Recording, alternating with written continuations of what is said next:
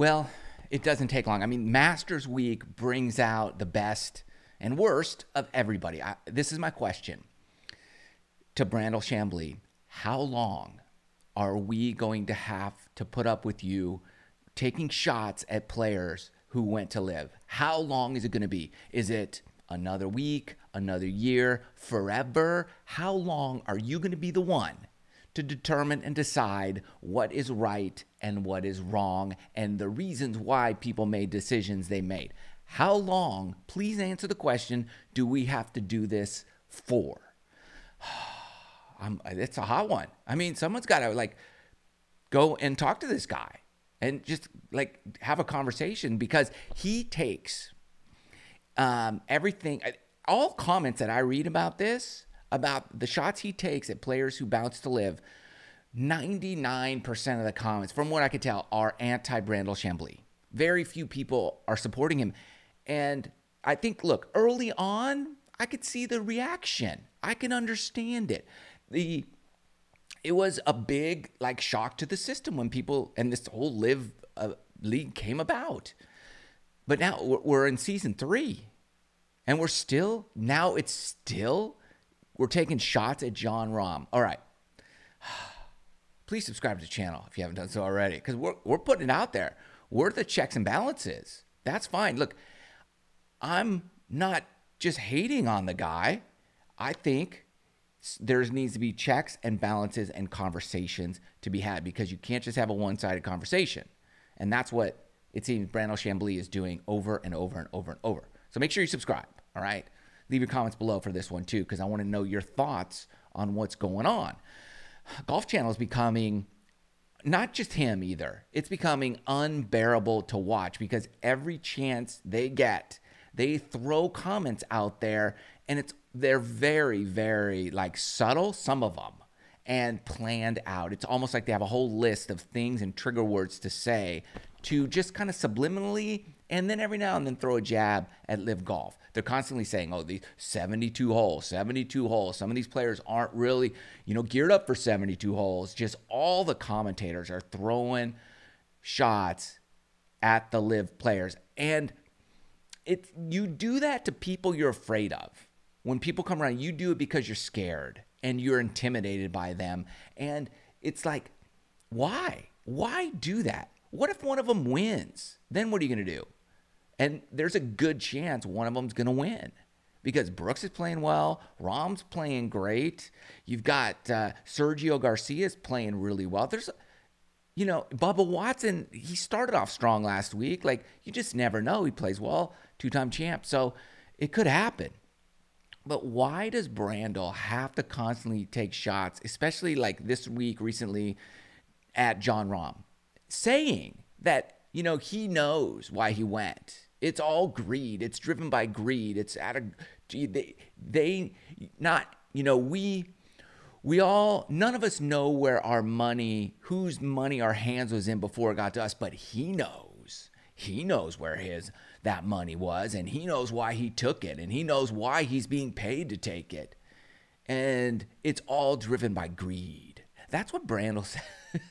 it's, that's, that's all he's got, right? Here's what's what kind of gets me is that why is Brandel Chamblee the morality barometer for all of golf, for all of what's right and what's wrong politically in the world of golf. Why is he the guy who gets to decide why those guys made the decisions they made? Why does he get to be the ultimate decision maker and the one to tell everybody the real truth?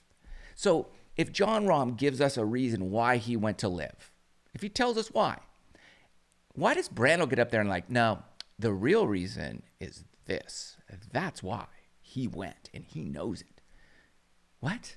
Why does he get to be the one to decide the real truth?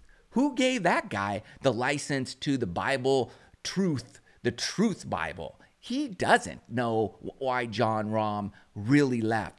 But what we can do is take Jon Rahm at his word because the guy doesn't have a habit of lying to everybody. I think we should believe these guys. And there's no reason not to. I think we should. I think we should take them at their word. Now, what he says a lot of times is they've justified it in their own minds so it makes sense to them so that they can do these things and get the money. But the true reason behind it all is greed. He even says that they're, they believe that's the real reason, but it's not. Like he could even, this is what's great about the, the secret superpowers of Brandel Chamblee. He could go inside their psyche and go past what they've convinced themselves of what of why they made the decisions they made. And he can extract and pull out the truth in their soul. That's the secret powers of Brandel Chamblee. Wow. What an awesome, you know, thing to be able to do. Good job, Brandel. How do you do that? What am I thinking right now, Brandel? Can you read my mind? Can you? You know, that's what's bizarre to me. I'm not thinking anything negative of the guy, to be honest.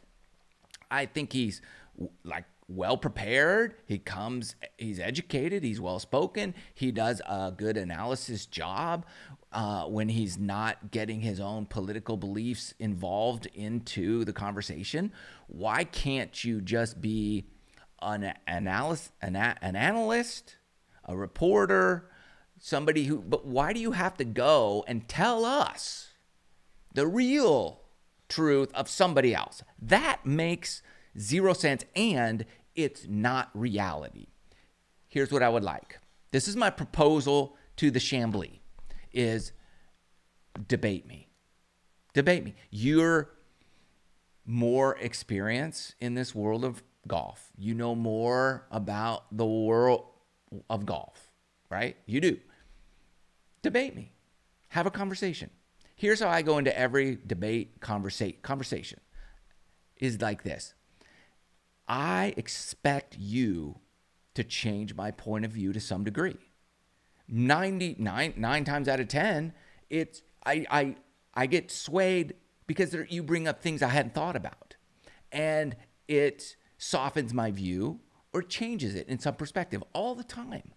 Sometimes on rare occasions when I have a conversation with somebody, they actually change my mind more towards me because they're so off. Like it makes zero sense. And hopefully I have the same effect on other people. That like I expect and hope that other people go into a debate not to say I'm right and you're wrong. It's here's what I believe, here's what you believe, and after our conversation, we're closer together. That's my goal every time. It's not that you're wrong, it's just he's unchecked. He's unchallenged. There's been no, he's like a football team that says they're undefeated, but they never played anybody either. That's what's going on here. He says he he won the Super Bowl of an a, analysts, not even analysts, of he's won the Super Bowl of the debate on LIV Golf and the reasons why he's won the championship, but he's never won against anybody. He's never had a real conversation. He's never had anybody really challenge him. He's just had people online. If those are easy to kind of slough off, like, oh, they're just trolls on social media. And he's blocked. Like, I'm blocked. I can't even follow him on Twitter. So I've got to get it from a repost all the time from somebody else, which is weird. Like, why? I don't know. Because when real people, not real people, but when people challenge you that have a say, you don't like that. You don't, you, you don't like it. So I say, let's let's talk about it. Come on here. I'll come on there. I don't care. Whatever. We'll go sit in a bar and talk. Either way, off offline. And we can go, both come back and report what happened. I don't care.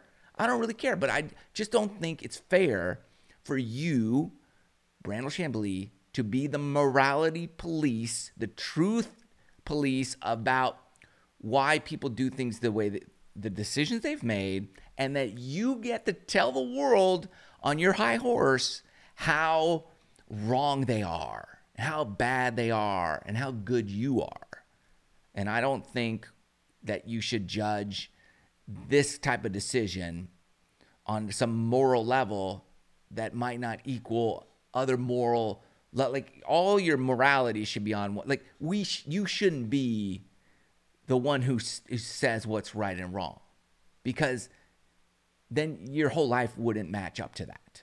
It just wouldn't. So that's why a lot of people have spiritual barometers of morality because it's set. They don't have to set it. It's already done.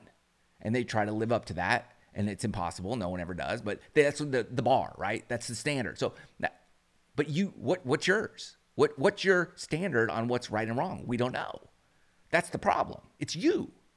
You're basically saying you're the God of this situation and that you get to decide what is good and what is evil. And you don't. You don't get to decide that. Somebody else gets to decide it, and it's not me. So I don't think you're um, I don't think you get that that crown. Either way, I would love to have a conversation about this on air, on a podcast, in a bar. I don't care. Let's do it.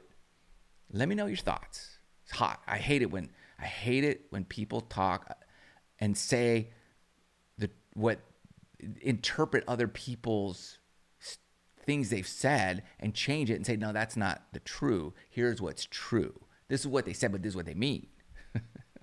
when you don't know, it's bizarre to me. Let me know your thoughts. Thanks for listening.